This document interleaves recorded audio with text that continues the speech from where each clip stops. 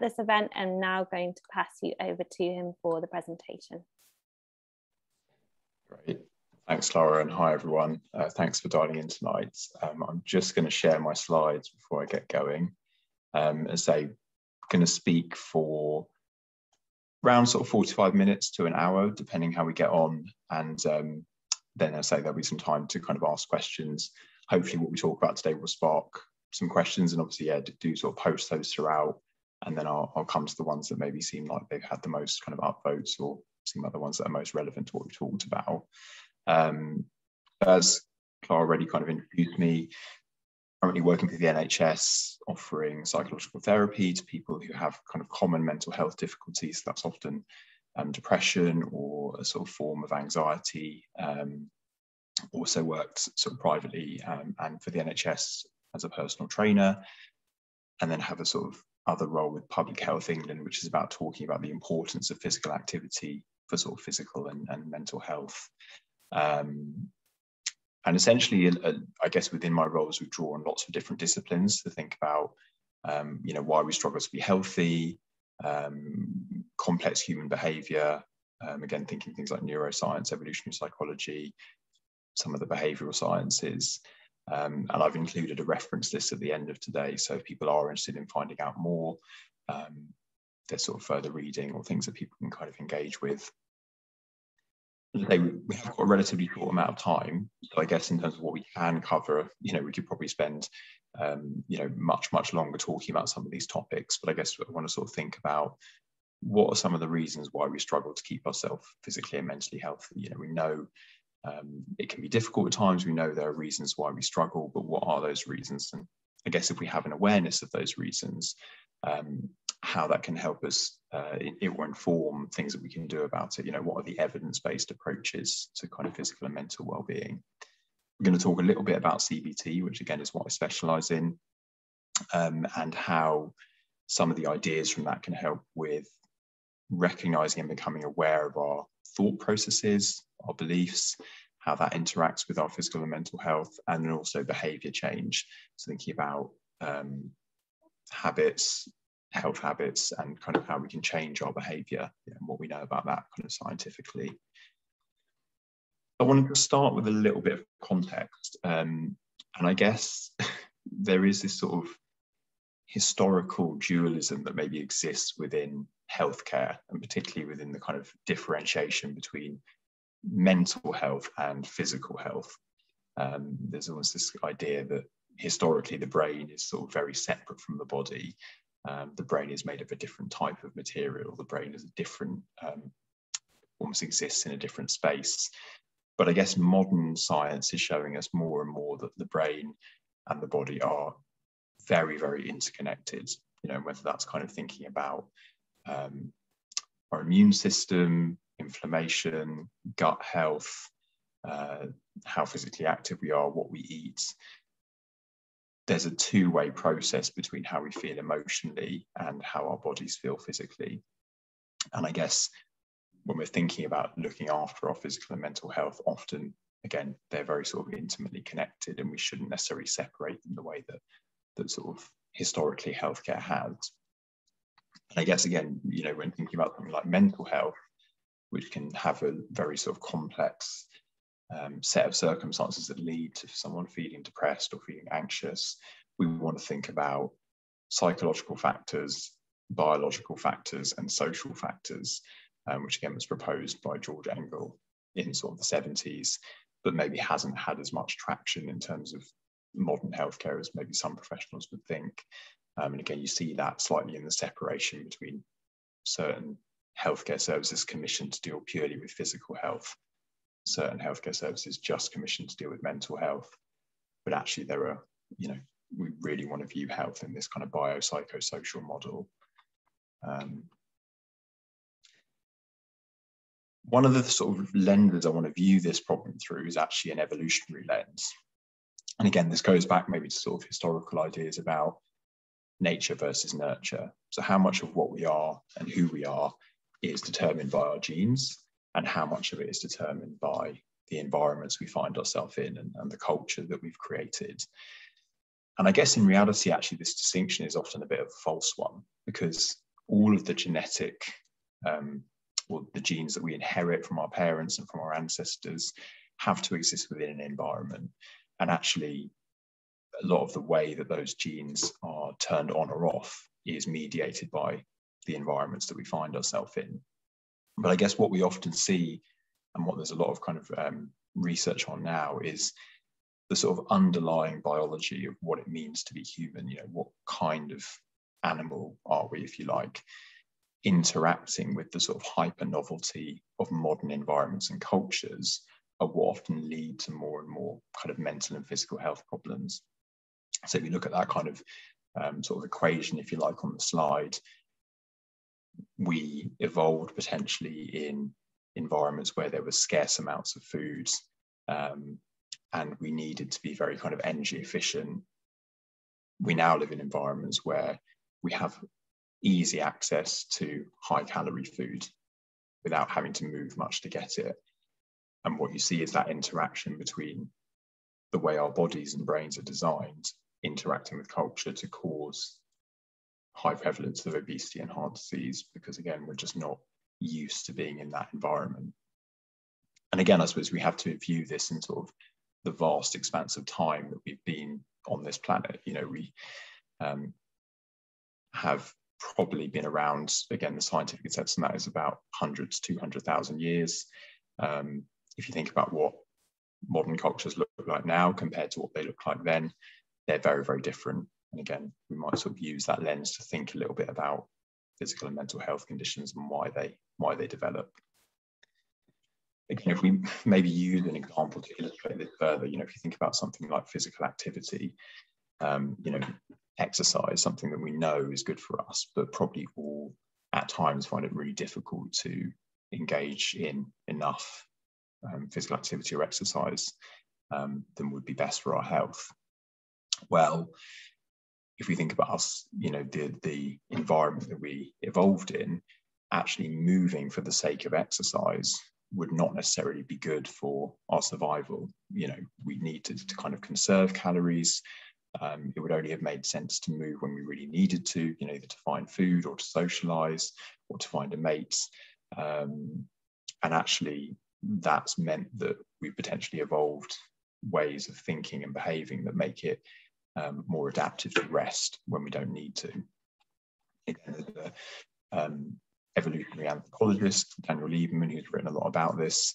And again, I just wanted to share a couple of quotes from him. So, you know, from the perspective of natural selection, when calories are limited, it always makes sense to divert energy from non-essential physical activity towards reproduction or other functions that maximize reproductive success, even if these trade-offs lead to ill health and shorter lifespans. And I guess what he's meaning by that is, you know, we need to grapple with the problem that engaging in voluntary physical activity for the sake of health and fitness is a bizarre, modern, and optional behavior. You know, our brains help us avoid physical activity when it's neither necessary or fun. So this idea that we should all just, you know, be able to be as active as we need to be, we should all exercise because it's good for us.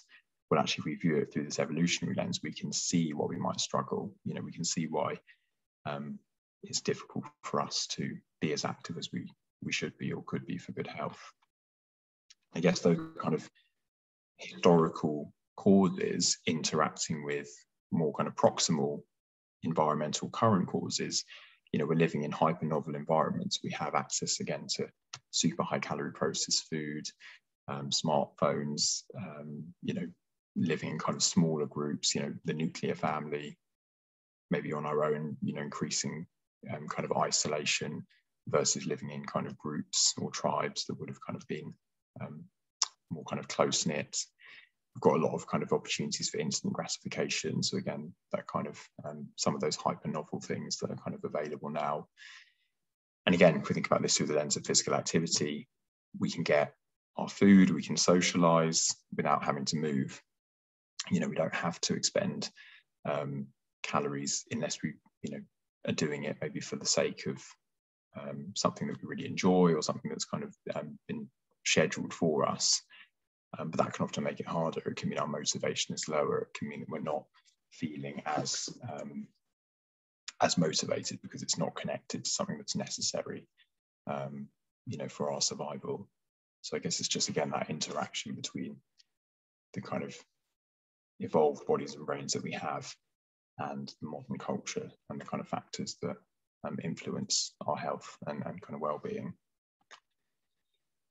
Again, linking this to mental health, well, again, thinking about how common mental health is, you know, again, we often see these stats, kind of one in four people experience a mental health problem of some kind each year, um, one in six in any given week.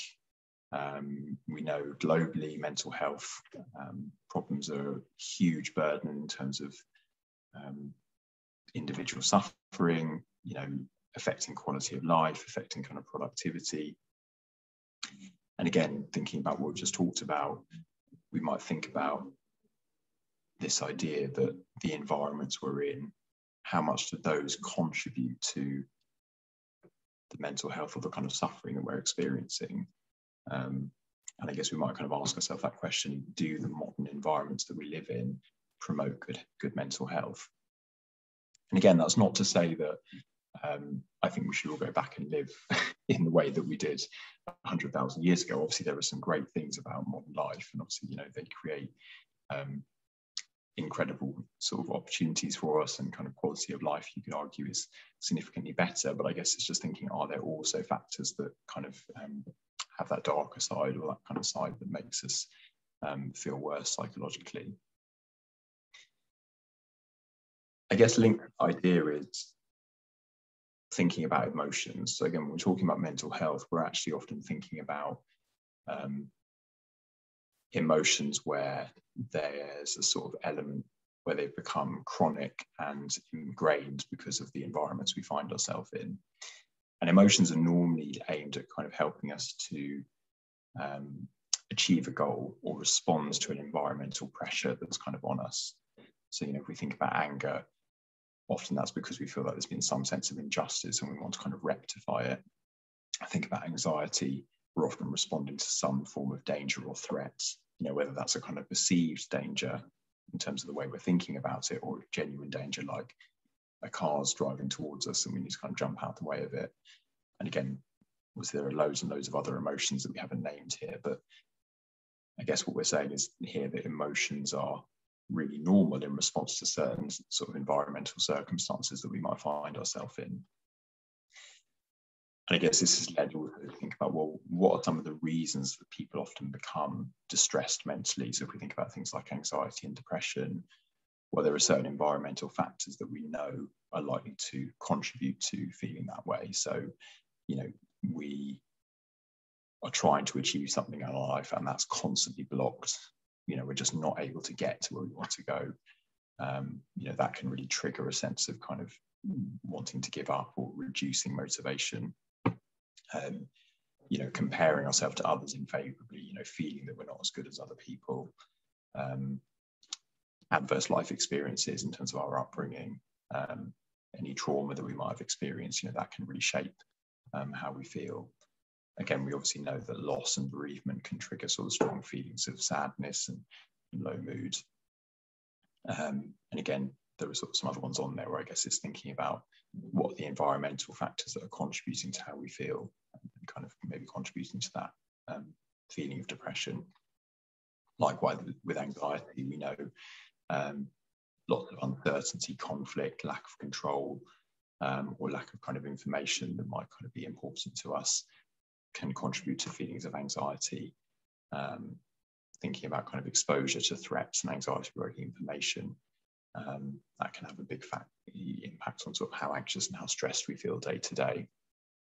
Um, and we put that put that sort of equation on the slide there because I guess sometimes we think about at any given moment our brain is kind of evaluating um, the awfulness of something happen happening, how likely it might be, and that kind of contributing to how anxious we'll feel about the situation but then that's often mediated by feeling, well, how well would we cope if it did happen?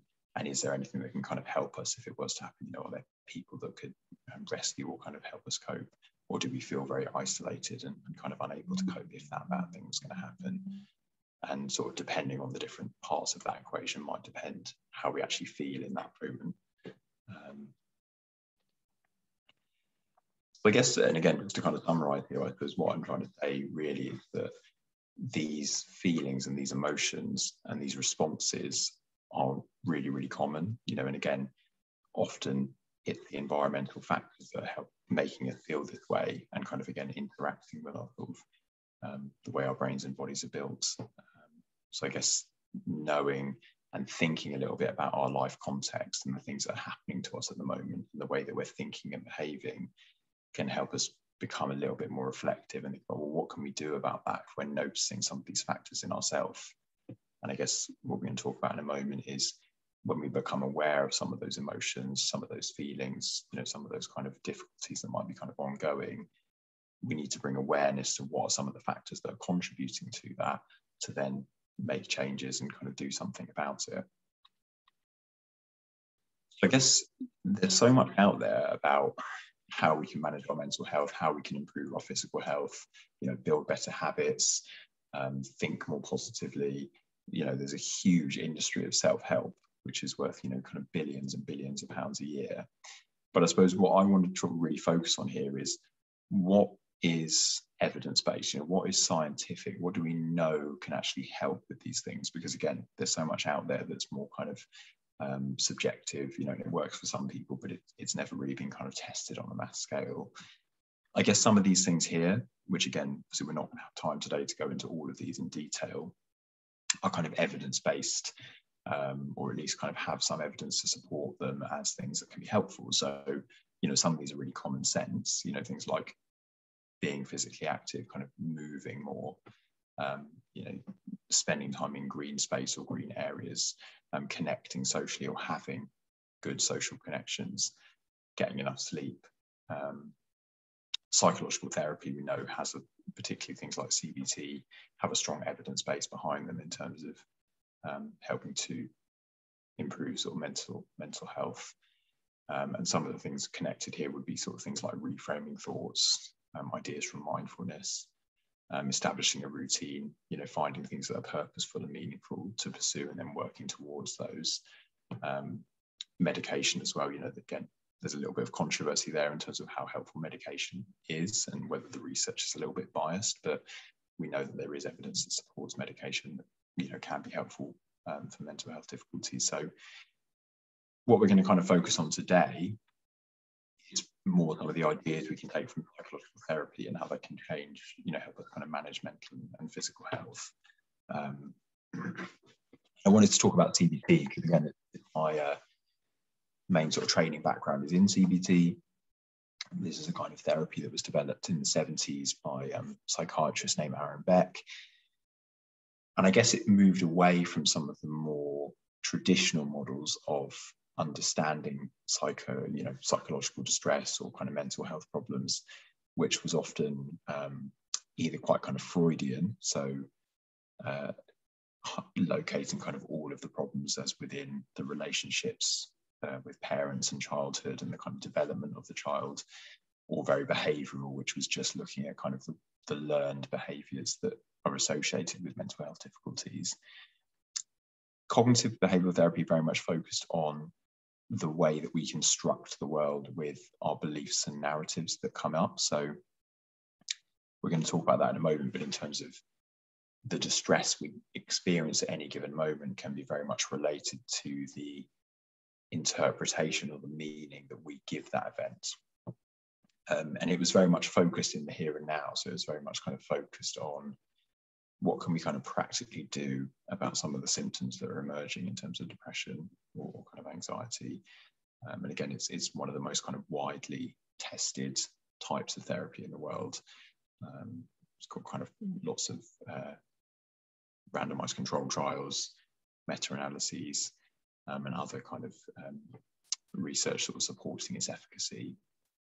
That's not to say it's the only therapy. And again, some people say that the reason CBT has so much evidence behind it is just because of a kind of bias in wanting something um, that kind of works in the short term.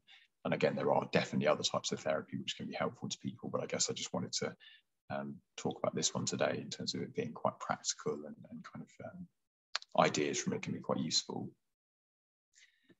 And I guess this is a simple diagram which often we use in CBT to help sort of reflect a little bit on um, psychological distress or kind of how um, the links between these different areas are kind of um, connecting with how we feel. So again, the real idea here is that the situation we find ourselves in is often not the cause primarily of the distress, but it's actually the mental thought, the way that we think about that situation. So just as a kind of example, you know, let's say I woke up tomorrow morning and I had a really dull pain in both my legs. And as soon as I got out from bed, it, you know, the pain intensified. I found it difficult to walk. I was, you know, just noticing this real kind of soreness in my legs. How might I feel in that moment? Well, if I know that I'd been to the gym yesterday and done an intense workout, which involves squats, lunges, deadlifts, the explanation I'd have for that pain would be very different. You know, I might even feel a sense of kind of satisfaction of, oh, that was a good workout. You know, I kind of feel the pain. You know, that shows that I did something good. Um, and then my behavioural response might be to kind of just, you know, keep walking. You know, not necessarily kind of change what I do that day, um, even though I might sort of notice that pain. But I guess think about that situation if I hadn't been to the gym yesterday. You know, if I had no explanation for why that pain was there how that might change my emotion. You know, would that kind of make me feel anxious? Would I be looking for an explanation of why that pain is there? How might that change my behavior? You know, maybe I'd sort of feel like I need to go to hospital. You know, maybe I'd kind of rest. Um, and I guess the links between these areas often kind of construct our experiences because we're, um, again, the way we're thinking or construing that event, um, yeah, really changes our emotional reaction to it and equally, I guess the physiology of how we're feeling. You know, if we're um, you know if we're feeling something in our body, you know, if we're um, you know if we've not been moving enough that day, or if we haven't had enough sleep, that's going to really impact how we see the world. That's going to really impact how emotionally resilient we feel. So I guess the idea here is that these areas interact and really impact on again our emotions, our thoughts, our behaviors, and our physiology again, one of the things we help people do in the CBT is to actually notice how we're thinking. Now, a lot of the time we don't really pay attention to our thought processes. You know, we're aware that we might be thinking, but we're not necessarily noticing the content of what we're thinking or kind of the emotional valence of what we're thinking. So what we try and do is actually say, okay, well, we want to kind of almost get into that process and say, okay, well, what are the sort of patterns that come up in my thinking? And again, we often use this term negative automatic thoughts to help people notice how they might be thinking when they're feeling low or when they're feeling anxious. The idea is that we have these automatic reactions to things, and we often just assume that because we've reacted in a certain way, the thoughts or the way we constructed or interpreted that event is correct. Um, but actually, what we know is we're very prone to seeing things in a certain way, in a biased way. Um, and if we can kind of step back from that process and start to notice how we're thinking, that gives us um, a chance to kind of reappraise or you know reinterpret that event using a sort of slightly more objective stance. Um, again, we often see this as sort of a, the way that we think in, in a sort of mental filter. So, you know, this is a kind of relatively silly example, but if we think about um, compliments or things that people say that are either neutral or positive, how much we pay attention to those. Maybe one person in our day says something you know, negative to us, which is the comment that often sticks with us more. And particularly if we're going through you know, anxiety or depression, we'll tend to notice that it's the, the negative comment or the one that kind of you know, we really sort of focus in on and interpret things in that way. So we're almost kind of filtering out the other information, only paying attention to the information that um, maybe kind of fits with how we're feeling or kind of, yeah, sort of um, fits with the depressed mood that we're in. I guess a sort of uh, another sort of metaphor to think about this would be um, this kind of idea of visual illusions. Now, many of you will have seen this before. Um, if you have seen it, you'll know that although these lines may look like they're different lengths, they're actually the same length. So the line at the top is the exact same length as the line at the bottom.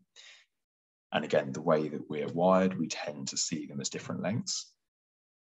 But what we can learn through experience is actually when I see that visual illusion, I know that I'm seeing two lines that are the same length. So we're almost kind of correcting for our automatic interpretation, you know, our, our bias and perception that kind of comes up here. And I guess to some extent, that's again a bit of a metaphor for if we notice patterns of thinking that continually come up for us, we can learn to step back from that and view it um, through a different way or, or, kind of, you know, reconstruct it in a way that's more helpful for us. I won't go through all of these, but some of these thinking styles are what we tend to look at in depression, but also can just come up generally, you know, when we're kind of going through our daily life. So um, we might be very prone to mind reading. So I assume I know what other people are thinking about me, but actually, what evidence do I have that that's true? You know, do I do I actually know that person's thinking that, or am I kind of um, basing this on past experience or experiences that I've had um, with other people before, but it's not actually relevant to this situation here? Um, reasoning with our emotions. So I'm having a stressful day. I'm feeling quite anxious therefore this situation is now being interpreted through that anxious lens and i'm kind of seeing it as much more catastrophic or um, you know like something's really likely to go wrong. Um, we might look at things like being very self-critical you know again how much am i taking full responsibility for something that's gone wrong or something that um, maybe hasn't gone as i planned? Is that fair? You know do i deserve 100% of the blame or are there other factors or kind of um, people that might be involved. Um, black and white thinking, again, we're very good at this in terms of human beings. So seeing things as either sort of 100% good or 100% bad. You know, a person is either 100% good or 100% bad. A situation is either really good or really bad. Well, actually, often there are shades of grey. You know, often things aren't great, but they're also not terrible. And how much are we tending to see things in that very black and white way? Um, and is there a way of kind of stepping back from that, catastrophizing? Um, you know, again, imagining the worst thing is going to happen, worrying a lot about the future and viewing things in a kind of very catastrophic way. I guess what I just say at this point, and again, this maybe linked to the, the one on there that um, mentions memories, is often these thinking habits and these thinking styles are shaped by our experience. So I guess, you know, if we've had um, experiences in our upbringing, um, if we've been treated a certain way by certain people, you know, if we tend to kind of compare ourselves to other people and view ourselves unfavorably, you know, again, this is where there is that interaction between environmental factors um, and kind of how we tend to think. Um, and again, often our, our mind is viewing things in a certain way because we've had experiences that fit with that narrative um, in the past. And again, I suppose the, the key thing here is to sometimes recognize why I'm thinking in certain ways and how I'm thinking, um, so that we have more of a choice um, rather than just kind of following that, um, you know, that narrative or that interpretation of a situation um, kind of immediately. Um, and again, this might be something that we think about with people that are getting people to monitor their thoughts, you know, so I notice a change in my emotion, you know, I notice I'm feeling anxious. Well, what was happening just before then? You know, was there something happening um, you know, in my day? Did something just happen? Did I just get an email? Did someone say something to me? Was I just thinking about something? How, how did I feel in my body? You know, what emotions came up? You know, was it anxiety? Was it stress? Did my body start? Did my heart start to beat really fast? And what was going through my mind? You know, was there something about the way I was interpreting that situation that made me feel that way? You know, so maybe someone said something that was relatively innocuous, um, like I don't know, uh, could you send me this document? But I interpreted that as they thought I should have sent it weeks ago. And actually, there was a kind of criticism in their voice. How much is that me bringing that to the table? Or how much is that kind of actually the situation that was there? So I guess we're sort of seeing that link between emotions, thoughts, body sensations, and the situation itself. I guess this is quite relevant to the talk, and this is actually an analogy we, analogy we do use in CBT, where we talk about actually kind of really interrogating our thought, and, again, this metaphor of sort of taking a thought to court. Um, so, okay, what happened? How did I feel? What were the thoughts that came up in relation to that situation? And can we almost kind of weigh up the evidence that supports that way of thinking? You know, so these are this is the evidence that this did actually happen, and you know, this is the way that um, my interpretation is correct. But is there also evidence that suggests that's not true? You know, so what what kind of other evidence could we generate? If we were speaking to a friend in this situation, you know, what would we say? Would we say, yeah, you know, your interpretation is absolutely correct. I can see exactly why you think that. Or would we be saying, actually, have you taken into account these factors? You know, are there other things that might mean that um, you're, you're, sort of thinking in a slightly unhelpful way, or you're not kind of seeing this exactly how it is? Um, and, and based on doing that, can we come to some kind of balanced perspective of what might actually be going on, or you know, a sort of different way of viewing it? Um, now, again, this is really hard. You know, again, and, and sort of um, going through this relatively quickly. But I guess if we can practice this and get used to recognizing those patterns and sort of interrogating our thoughts in this way, that can actually help us again um, have a slightly more balanced view and um, prevent us from thinking in these slightly unhelpful ways. I guess to some extent, our thinking styles connect to how we actually talk to ourselves and how we relate to ourselves. And again, this can be a, mixture of sort of our upbringing, the culture we find ourselves in, um, the way that we yeah sort of have relationships with other people. But I guess we might think of this analogy of like, like two different coaches. So, you know, if I was going to um, take a child to learn a, a, new sport, for example, so let's say it's football. So you take your child to training and they can have the choice of two coaches you've got coach A that whenever the child makes a mistake, they're going to yell at them. They're going to say, you know, you're really terrible at this. I really don't know why you bothered to turn up today. I just can't see how you're ever going to improve. You're just not good enough. You know, you really don't have a future in this sport. And I, you know, don't bother continuing. And then you've got coach B that says, you know, I think there's some things we can work on together. Um, I wonder if actually, you know, through doing a training program, we could find ways of improving. Um, you know, I can see some parts of your game that you need to work on. Um, you know, let's think about doing that together and kind of working through that. I guess that question of well, which which coach would get better results, you know, which coach would help the person kind of stick at um, learning that skill or kind of playing that sport, versus which coach would make us kind of want to give up and which coach would kind of want us to, um, you know, maybe make us feel much worse about ourselves emotionally. I guess what often happens is, although we can sort of rationally see that the compassionate coach is probably going to have better outcomes, we tend to relate to ourselves very much in that bullying way, you know, in that kind of self critical way. Um, so I guess there's something here about that way of relating to ourselves and can we kind of foster um, more self compassion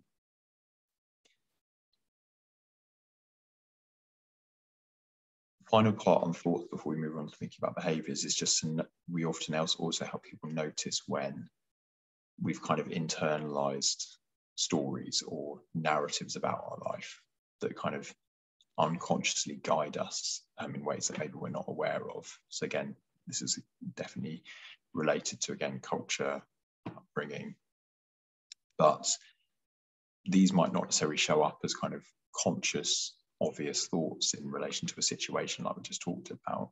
There might be more things like, I don't feel good enough. You know, I always feel like I have to prove myself to others. Um, I'm not the kind of person who does exercise. Um, I can't say no to people because otherwise they'll kind of judge me negatively. These kind of rules and assumptions often very much unconsciously kind of influence our behavior. And actually, again, by becoming more conscious of the way that we're living our life and seeing um, the sort of narratives and the stories that we're um, living by can help us kind of work through those, um, either through doing kind of self reflection or through, again, sort of psychological therapy or kind of talking to people about um, the way those are impacting on our life. So, just some food for thought, maybe kind of um, to take away from today. So, in terms of thoughts, we might think about, well, how could I foster being more compassionate to myself? you know, what would that look like? Um, you know, does that mean doing more for myself? Does that mean actually kind of um, giving myself permission to do certain things I wouldn't normally give myself permission to do? Um, am I prone to any unhelpful thinking styles? Maybe the ones that I kind of put on the slides, or just ones that you've noticed already. And you know, what rules am I unconsciously following? Am I living kind of certain narratives out that don't feel good and kind of cause me to feel bad. Um, and these are all the kind of things that people can work on themselves when we start to become more self-aware of these processes, but also things that kind of sometimes get covered in therapy and then things that kind of we help people work through. I want to also just talk a little bit about behavior change because again, this is a big part of CBT and a big part of kind of helping people to live kind of um, become more sort of psychologically and physically healthy. Um, and I guess really, you know, often when we're talking about behavior change, we use this term habit. You know, we know that we should have good health habits. We should be exercising more, eating better, um, spending less time on screens, you know, sleeping well. And I guess often there's a focus in these conversations about the behavior we need to do. You know, we need to just exercise our willpower and then we'll be able to do the habits or engage in the habits that make us, you know, healthier, happier people. But I guess what's often neglected is that actually a lot of the research shows that the behavior is only one part of the equation. And actually, the environmental cues or the environment we find ourselves in often massively shapes how likely it is that we'll behave in certain ways. And equally, the way that we that a certain behavior triggers the reward system in our brain is very much connected to how likely it is that it will be built in and kind of remembered in a positive light in our brain in a way that reinforces it into a habit.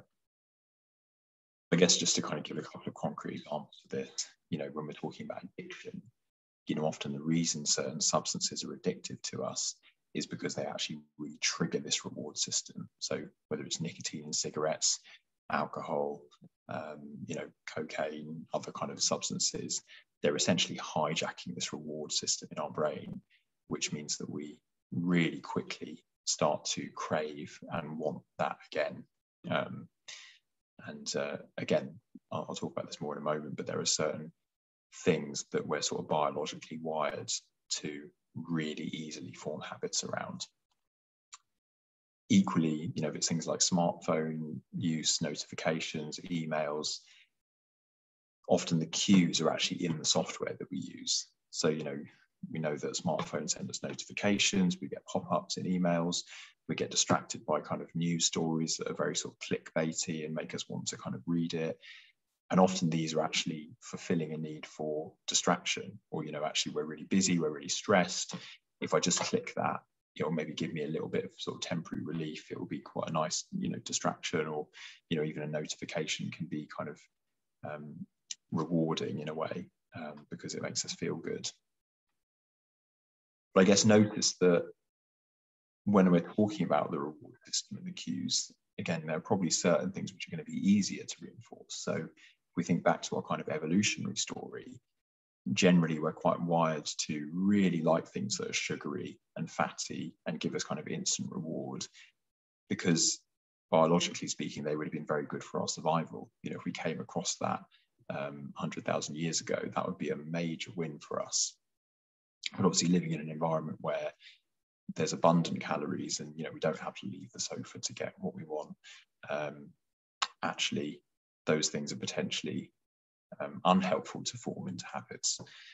Um, and, and again notice that some healthy behaviors that we might think don't have an instant gratification you know physical activity or exercise can be quite unpleasant in the moment. You know eating broccoli probably isn't as rewarding as eating a donut. Um, so actually, sometimes it's more we need to almost construct what that reward is. You know, is it helping us move towards a goal, which is to feel physically better? Um, you know, we know there can be mood benefits to moving. So is it actually that the reward system is I want to feel less stressed or I want to improve my mood because I've moved? Well, that is a reward that can be quite tangible and help us to form habits equally is the environment one that fosters movement or fosters that healthy behavior. Um, there's actually some evidence, I think, that if you live closer to lots and lots of fast food or takeaways, you're statistically more likely to be overweight. Now, is that just because the people that live closer to takeaways have lower willpower? Probably not. You know, it's probably more likely that um, there's just more temptation. You know, there's more there's more opportunity to engage in unhealthy behaviors. Um, so I suppose again, the, the, the idea here is that we're focusing partly on the reward and partly on the environmental factors that are contributing to the habits and the behaviors that I'm starting to form. Now, some of the ideas from the CBT that can help us to engage and kind of get inside this process, some of them are really straightforward. But I guess there's this idea of actually committing to a time and a place where we can engage in, you know, a certain behavior. So if I do want to walk more, you know, I could say, well, next, you know, this upcoming week, I want to increase my walking. Well, I haven't really made a plan there. You know, that's quite an abstract thing. I could easily put that off if I feel stressed. With something like activity scheduling, we're actually saying I want I'm going to write down and commit to when I'm going to engage in this health behavior or this behavior that I know is important to me. So at six to six thirty, I'm going to walk to my local park by myself. You know, I want to reconnect more with my friends. Right, well, I'm going to message James seven o'clock on Wednesday. I'm going to talk to him on the phone. We're kind of making a commitment to that act rather than just saying, oh, I'll do it at some point in the future where we know we're very prone to kind of put that off, get distracted, do other things instead. When we're thinking about environmental cues, well, what's my living space like? Where do I live? You know, do I have easy access to places that make it easy to say be active or to eat well? Or am I kind of in an environment which really there's lots of temptation around? You know, how close is my phone to me every day? If my phone is buzzing 24 7, how easy it for me to just use my willpower and, you know, I'm really not going to look at my phone versus if I turned it off and put it away somewhere. You know, if I don't have any donuts in the house, how easy is it for me to go and get one? You know, these are the kind of contextual factors where we sometimes need to think about what are the envi- you know how can we design our environment to make it more likely that we'll follow through with our good intentions? Um, and again these can be small things as well. You know these could be things like well if i want to create a habit of doing say stretching in the morning could i have my yoga mat out on the floor you know in my living room so it's kind of ready for me to go you know do i know where my um, the clothes i'd want to go walking in are and are they easily accessible um, is my TV plugged in with the remote on the sofa where it's really tempting to just sit down, turn it on, or could it be unplugged? So that actually, if I have to watch something, it's much more of a conscious decision to engage in that behavior. And again, these are things where if we're conscious of what's impacting on our ability to engage in healthy habits, we can actually make changes that sometimes make a big difference. Again, what just one from my own personal life is taking my phone out of my immediate environment. So, like I said, put it in the bedroom, um, turn it off. You know, that can really help you from being distracted or kind of um, not doing something, you know, where I sort of end up that I've just scrolled for an hour and not done the thing that I wanted to do. Um, and I guess linked to that idea is that we sometimes have certain contexts where it doesn't matter what our intentions were, when we find ourselves here, our motivation just drops off a cliff you know, again, that could be the sofa, that could be the computer, could be when we're on our smartphone, could be when we're with certain people. But I guess if we notice that that's happening, we can then sometimes plan our environment and our context in a way that helps us to be less distracted, you know, be less likely to engage in kind of um, or reduction in motivation. I guess we talked a little bit about the reward aspect of habit building. And I guess there is this idea that we can use something called reward substitutions. This is Dan Ariely. He's done a lot of work in kind of behavioral economics and psychology. And he's a big advocate of this idea of reward substitution, where I guess it's the idea that if we know we don't enjoy a particular behavior, but we know it's good for us, can we combine it with something that is more enjoyable? So, you know, an, an idea here might be like an audio book or a podcast. I know I really enjoy listening to that, but I'm only going to allow myself to do it when I'm out for a walk or I'm out for a run. Um, are there kind of other things we can use to positively reinforce that behavior, even if it's something we know that we don't enjoy as much, um, or kind of it wouldn't be something that we're instantly drawn to do? I guess a lot of this kind of reasoning can be summarized by the idea, which again sounds like complete common sense, but when we actually think about it, um, can be quite deep, which is if we want people to change their behaviour, we want to make it as easy as possible for them to do that to do so. Again, this is from Paul Dolan, who's done a lot of work on kind of um, behavioural change. And I guess again, a lot of what I've just said, talked about really here is reducing the friction towards behaviours that we know are good, and maybe increasing the friction on behaviours that we know are bad. So again, to use a, one of the examples I mentioned, making sure that we don't have food that we don't want to eat in the house, making sure that we're really kind of primed and cued and it's easy to be more physically active through certain kind of, um, again, changes in how we arrange our environment.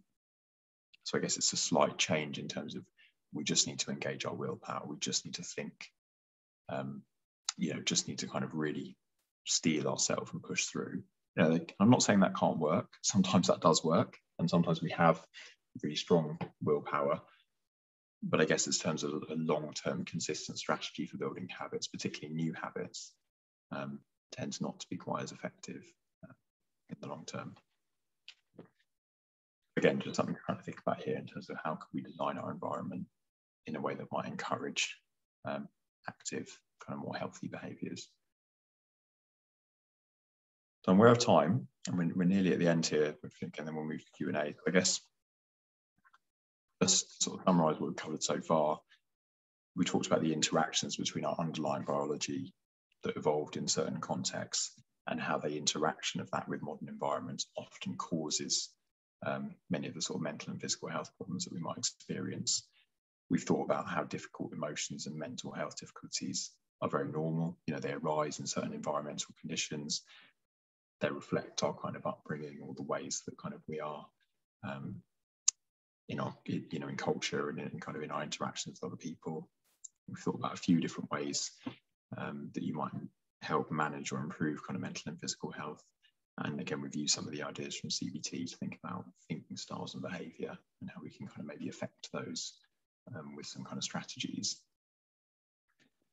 Wanted just to mention a few resources because again I know we've covered a lot in a quite short space of time. And obviously, again, you could go into a lot of these things in, in much more detail and, and maybe we will a little bit in the Q&A. Um, Clara was going to mention maybe a little bit about the lincolnsinn.org.uk website, which is again very much about kind of well-being. Um, so I'll, I'll let her talk to that maybe in a, in a moment if people have questions on it. Um, there are some self-help resources which kind of again build on ideas from CBT, think about kind of mental health, there's also some really good charities, so Mind, the Calm Zone, Rethink. Um, there's a lot of kind of resources and information there about mental health and what we can, you know, where we can seek supports, what kind of things we can engage with. And that link at the bottom, which is really long, but again, when I send the slides out, you'll have that link, is actually where you can source local therapies depending where you live. Um, so if you were interested in kind of um, potentially talking to a therapist or speaking about some of these ideas in more detail, um, you can access kind of NHS funded therapy using that link just by putting your postcode in. Um, Clara, I don't know if you want to say anything about the Lincoln's Inn website there. Yeah, um, just to mention, and I have put this in the chat, there are a number of resources on the members section of our website under wellbeing. So schemes that the Bar Council run for um, barristers and judges as well. So please do go have a look if you're interested in the various different counselling services and also charities, legal charities that offer um, wellbeing resources too. And just to mention that all of these slides we will upload to the website too. So if you um, would like to check back in a couple of days, and I'll email everyone who's attended tonight too. Great. I say just just added to that. I mean, again, the last two slides are just to um, loads of references. So again, some of are books that kind of go into these topics in much more detail. Some of them are papers relating to some of the stuff we've talked about. But um, yeah, if you are interested in finding out more, uh, this reference list is quite a good um, resource just in terms of reading more about this for yourself. Um, so I will stop sharing there. Um, and again, I'm aware that was sort of very much a whistle stop tour. And I'm just going to look at the chat to see if any of these are kind of Q and A's that have come through, or people have just put chats on there. Clara, I don't know if you've been sort of monitoring that. Um, we've got one from Shilpa who's asking why are certain traits and habits hardwired into us due to biology or ancestors' lifestyle, but this mm. does not change as quickly as we do when we've moved on? Oh, yeah, I see this. Yeah. Yeah, and I think really the answer to that is partly just about time. You know, if we think about traits potentially being inherited over many, many, many generations, um, actually the, the the modern environments we're living in are very novel. you know, and they, you know, only in the last sort of 100, 200 years have we had maybe as much um, easy access to things. And actually for those traits to change over you'd probably need you know hundreds of thousands of years for those things to actually kind of affect our biology more deeply. Um, i don't know if that's kind of making sense but i guess it's, it's partly that sort of um, mismatch in time between culture changing much faster than our kind of genes can keep up. Um, yeah i don't know if that's answered the question but yeah hopefully that's kind of what you were alluding to Right. Um, if anyone does have any questions, feel free. Josh has kindly agreed to stay on the line to answer any, and they they can be anonymous as well if you you're not yeah. comfortable putting your name. It's the Q and A tab at the bottom or on the chat. We did have a couple sent in advance, so maybe we. Yeah, I was going to say I can go to a couple of those if that's helpful. Yeah. Um, I think someone sent one through about um, dealing with sort of multiple interruptions by email and kind of how that can be really distracting. And I get, and I, I suppose just thinking about the effect on concentration. And um, I guess one thing I was thinking about was, again, the idea of like habits being very much influenced by the environment. So if we do have emails constantly pinging at us, how difficult it is to actually avoid the temptation to kind of get distracted and go off task and I suppose setting up maybe um, the software on our computer or even just shutting down emails while we're trying to work on one thing at a time is probably a more effective strategy than trying to like you know just resist the urge to check or to kind of go into those things. Um, i think there was a couple more that i was going to just touch on someone had said someone had said what are the three most important habits that a person can adopt in their everyday life in order to achieve the balanced psychological and physical health? That's um, quite a difficult one to answer. I mean, I guess in terms of the sort of evidence base and where there is the most, I mean, I would say being physically active, and I guess the government suggests in terms of the evidence base that doing 150 minutes a week of moderate intensity physical activity. So that's kind of things which get our heart rate up, not necessarily to the point of feeling kind of completely exhausted or overexerted, but you know, we definitely notice that we're kind of slightly working harder than we would if we were just sort of lightly walking or not doing much. That is massively correlated with huge benefits in health, you know, reduction of risk for things like diabetes, heart disease, some cancers, depression, anxiety, so in terms of bang for your buck, you know, being phys- as physically active as we need to be for good health definitely has a massive impact on our physical and mental well-being. Sleep as well, which again I know I alluded to. There's a lot of evidence that getting a good night's sleep and giving ourselves enough time to sleep, which generally the evidence shows is around sort of six to eight hours a day. You know, again, I know modern lifestyles don't always give us the opportunity to sleep that much, but if we can make time and prioritize sleep, that's likely to have a big impact. And I guess the, the third thing I would say there is probably stress. And obviously, stress can mean so many different things. You know, that can mean um, external pressures coming from job, family, relationships, you know, other kind of factors that we couldn't foresee but also kind of internal pressure that we put on ourselves. You know, again, in terms of having very high standards, pushing ourselves, you know, working really long hours.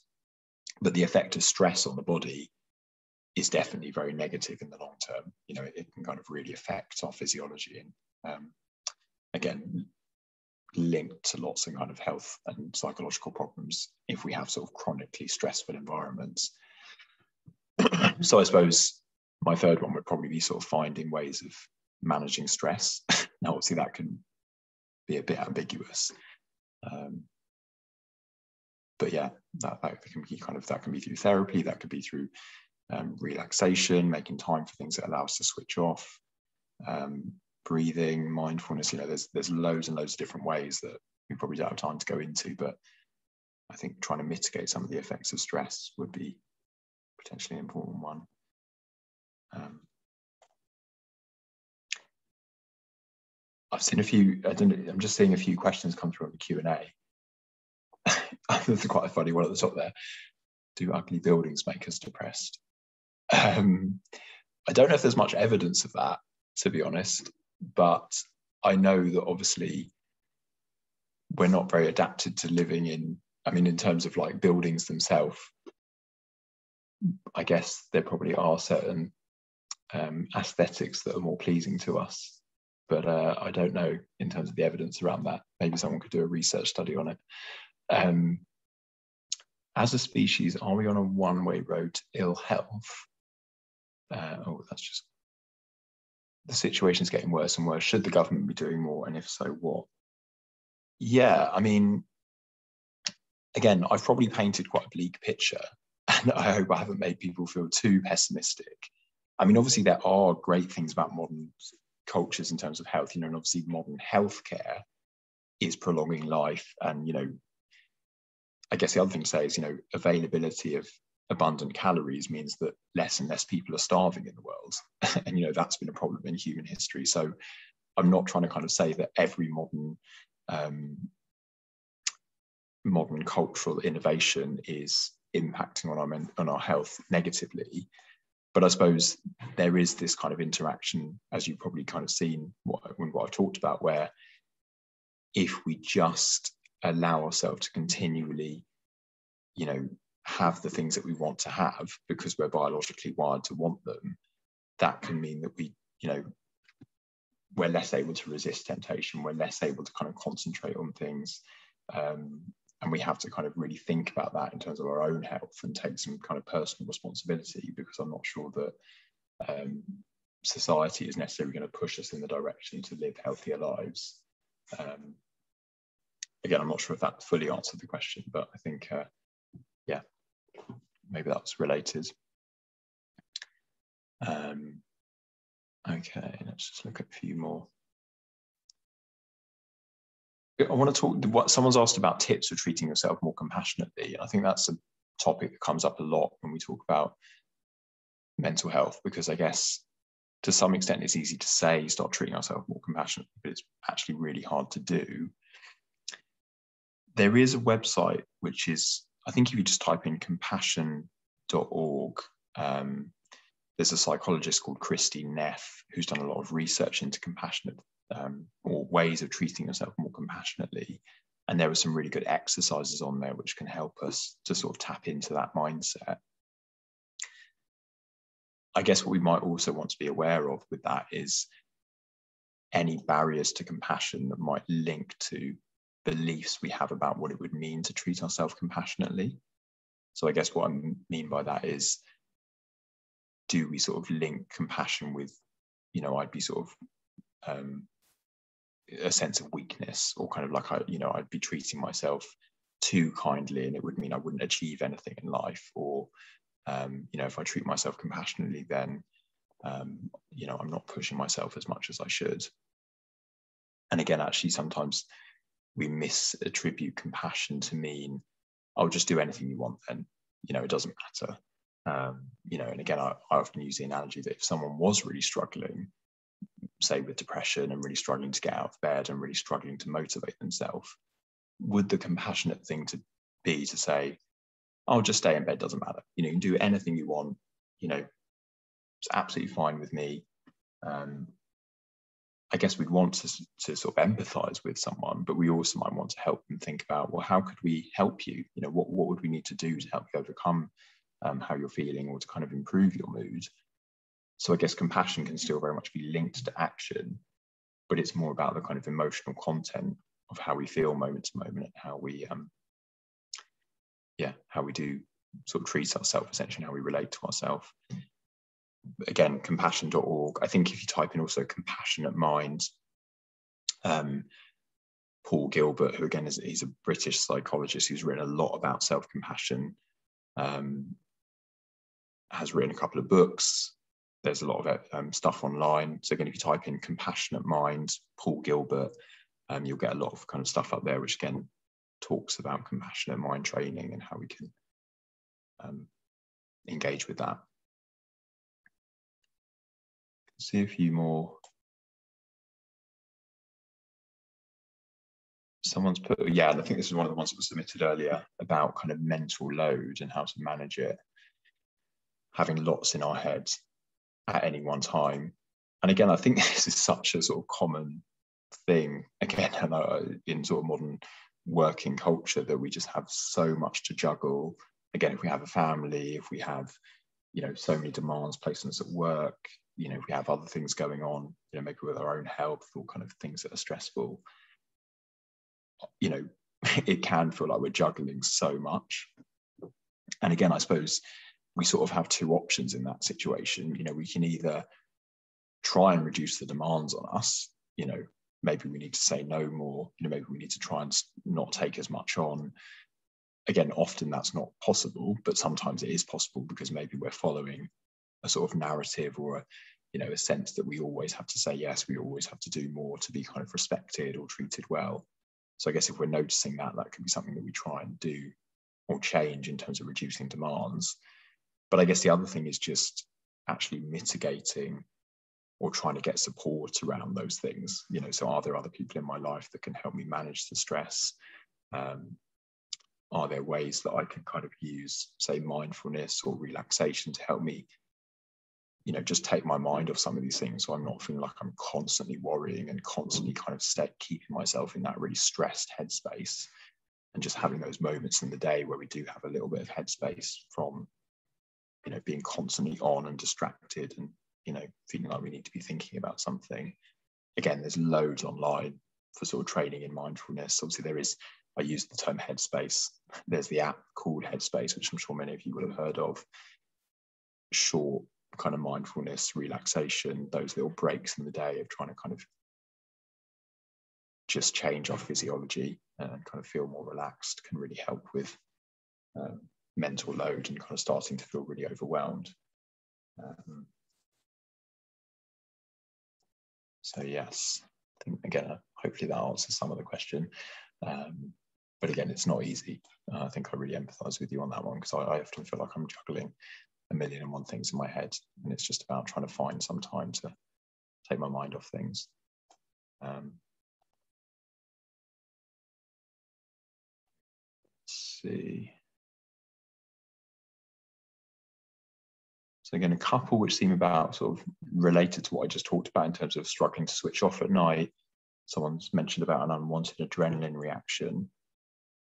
And again, I suppose in terms of how we're wired, like I talked about before, we do have this kind of fight or flight response within our body that when we experience stress or something that feels threatening to us, and again, I'd emphasize the feels threatening to us because it's unlikely we're finding ourselves in a situation where our life is genuinely threatened by an external threat, you know, like um, someone attacking us or kind of animal coming towards us, like it might have done again 100,000 years ago the physiological response is heightened heartbeat, um, breathing faster, sweating, racing mind often, you know, kind of really trying to, um, or finding it really hard to kind of switch off. Um, and again, I suppose there are certain things we know that physiologically help to calm us down. So that can be certain types of breathing exercise. Um, it can be physical activity and exercise actually there's some evidence that spending time in green space, you know, sort of trees, that actually lowers the cortisol response in our body. Um, again, mindfulness and taking our, you know, I guess if we're if the if the content of why we're feeling stressed and anxious is our thoughts, because we're just thinking about, you know, I've got 100 things to do tomorrow. I'm thinking about the things that happened before. Um, you know, it's the thinking that's generating that anxious state in our body. Then we might have to think about, well, are there ways that I can learn to have a little bit more control over where my mind is going? And again, that brings in awareness, that brings in mindfulness, that brings in kind of maybe some of the ideas in CBT that we talked about in terms of just stepping back and questioning some of the catastrophic thoughts that might be coming up. You know, am I thinking in a very catastrophic way? And if I step back from that, can I notice that, um, you know, maybe things aren't quite as bad as I'm imagining, or I'm kind of, again, catastrophizing. Now, again, I'm saying this like it's really easy. These things are really hard. You know, these are things we talk about in therapy. These are things that there's lots and lots of um, techniques and ideas that can take a lot of time to practice. You know, and again, mindfulness, for example, something that it's very much within our culture, something we know is good for us, but actually cultivating a mindful practice, you know, does require a lot of practice. It requires a lot of time. It requires kind of actually, you know, really, um, I suppose, committing to that as something that would be be useful. Um, so yeah, again, So I'm just going to have a look at a few more.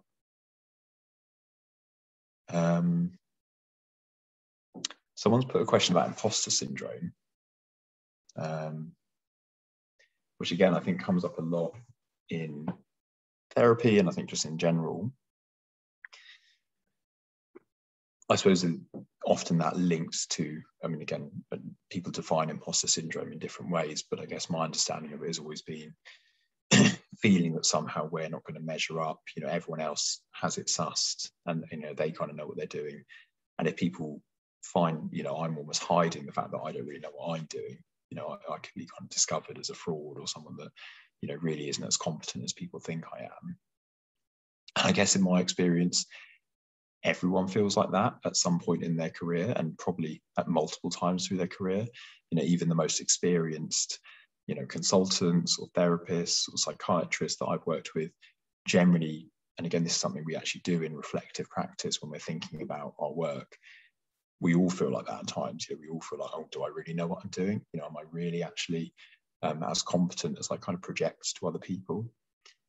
And to some extent all our professions you know if we're in a professional job you know whether that's um, in law psychology medicine um, we're kind of having to wing it to some extent because it's not something that um, comes naturally to us necessarily.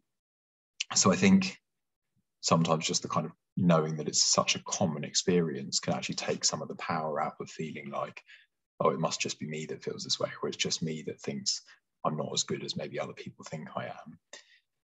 And that can be quite liberating because then it's actually, well, am I always having to project this idea that I know exactly what I'm doing because of a fear that if I'm honest about the fact that sometimes I don't know what I'm doing, that will be judged very harshly. And again, I know some work environments are quite cutthroat and people do react differently. But I think sometimes actually being open and honest about how I'm feeling, like, oh, you know, I, I'm really not quite sure what to say to that or how to react to that. And again, I, know I work in psychology, so we are we do tend to kind of think in in these ways. But I think sometimes just trying to drop that idea that I have to always present myself as someone who's completely infallible and perfect um, can be quite liberating when it comes to imposter syndrome and being that we have to kind of have that facade on at all times. Um, yeah.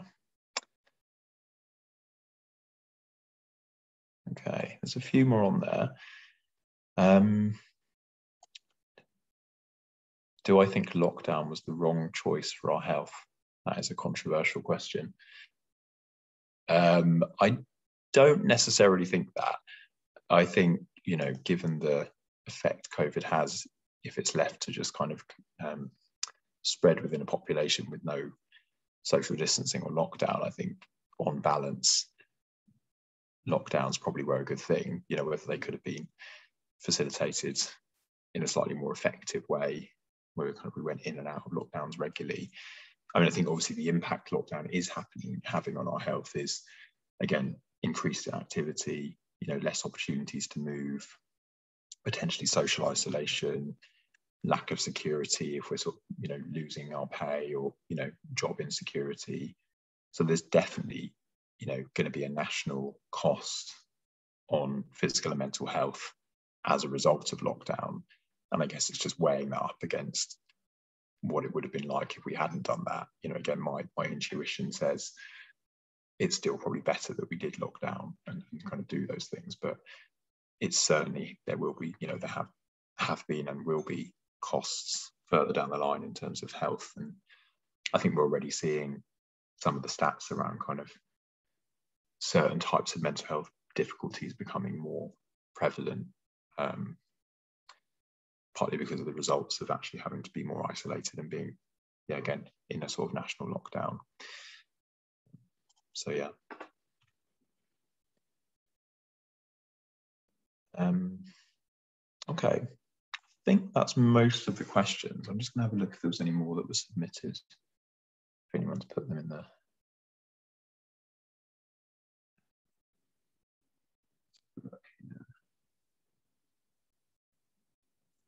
Someone's put someone put a question about um, what breathing exercises I would recommend. I mean, again, there's loads out there, and some of them are more evidence based than others. I mean, one that's often used in meditative practices is something called um, box breathing. And again, if you type that into YouTube or type it in online, there's loads of kind of audio. And essentially, it's called box breathing because it's about controlling your inhalations and exhalations. So, if you imagine a square, the idea is you would um, say breathe in for five seconds, hold your breath for five seconds, exhale for five seconds, and then hold for five seconds. So it's kind of, and then repeat that process. So it's a kind of rhythmic breathing, which can certainly help tap into, um, again, sort of physiologically calming um, mind and body states. Again, that takes practice. It's not that we just do that and instantly we feel relaxed and calm. But if we can kind of foster that as a practice, that can be something that we can tap into at those moments where we feel really overwhelmed or stressed or just want to give ourselves a kind of mental break, which helps us feel calmer. Um, I think someone just put in the chat about maintaining focus. Um, and again, that's a hard one because there's so many distractions. you know, there's so many things that, especially working from home, I find distract us. You know, whether it's TV, smartphone, emails, notifications, you know, browsing the web, um, online shopping. You know, there's so many, and I think you know one of the things might be to just try and reduce the amount of distractions that I have in my life when I'm, you know, say if I'm trying to work on something, you know, turning my smartphone off, putting it in the bedroom, um, turning off my email notifications. Um, I know there are some like software you can buy that sort of block websites during certain hours. Um, you know, these kind of things can sometimes help with focus. Um, I guess, you know, again, all the kind of things I've talked about already, like, am I really tired because I haven't slept well? You know, we're going to have less cognitive capacity to focus.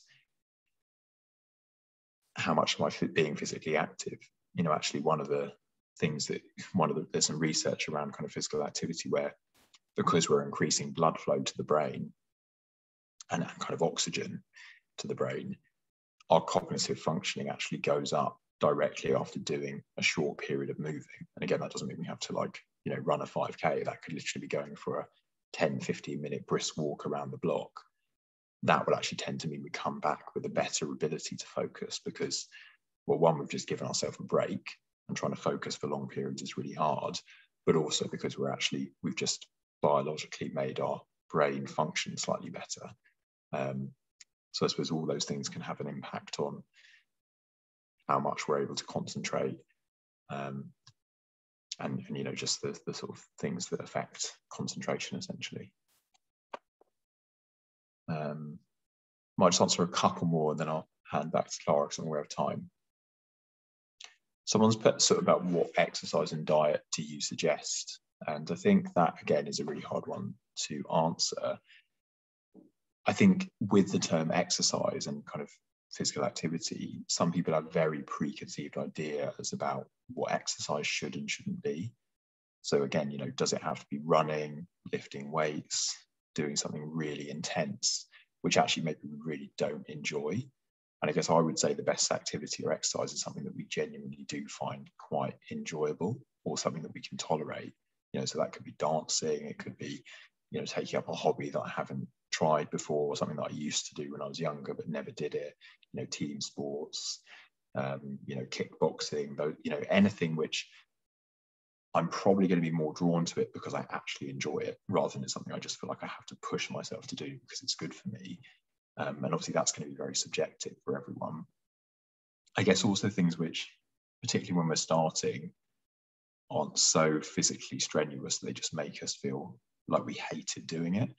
You know, so again, um, if, if we say we are trying to get back into running, rather than trying to like push ourselves to run a 5k in the time that we were able to run it five years ago, or could we start with just like walking very, you know, and then maybe doing like a minute of running?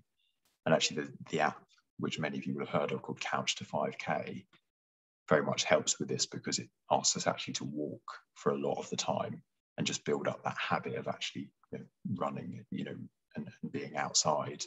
And then when we actually get physically fitter, we're then able to maybe increase the amount that we're moving and the amount that we're running.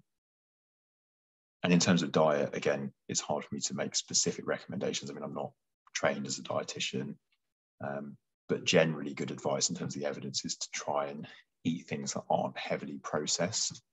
Um, you know, so things that essentially, going back to our evolutionary story, are existing kind of close to what their natural form would be. So, you know, um, unprocessed meats, you know, if we're going to eat meats, um, things like rice and grains. Again, uh, I won't say too much more on that, but essentially, yeah, the, the, kind of more processed or the more that it's become kind of man-made and artificial, generally, the, the worse it is for us, you know, as a kind of general rule of thumb. Um, so that's kind of what I'd say to that.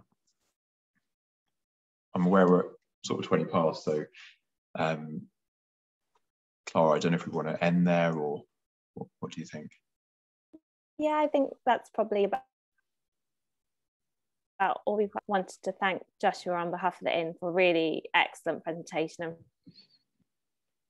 all of the issues and you've covered so many areas so really grateful to you for coming along today and having you on board. So thank you very much for coming everyone and um, have a good evening. Yeah thanks guys. Thanks for having me. And um, yeah